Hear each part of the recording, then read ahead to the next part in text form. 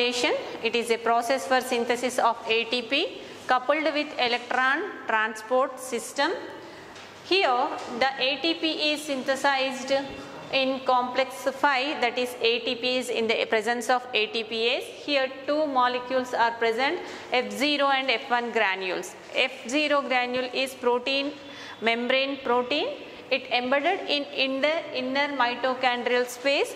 F1 is also, it is uh, present in matrix of mitochondria. It is a rotatory particle. So, the smallest rotatory particle in the world that is F1 granule. Here, the oxidative phosphorylation is explained by scientist Mitchell by chemi-osmotic hypothesis chemi-osmotic hypothesis.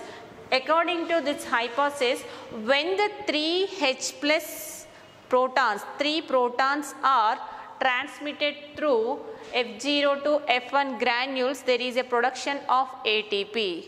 Because of they are F1 granules are rotatory granules they are rotating very rapidly when the F1 F1 molecules F plus molecules are fallen onto the F1 granules, there is a production of rotation energy that leads to the ATP formation. So, for 3 protons, 1 ATP molecule is released. So, here in electron transportation for NADH2 oxidation, there is a accumulation of 10 protons.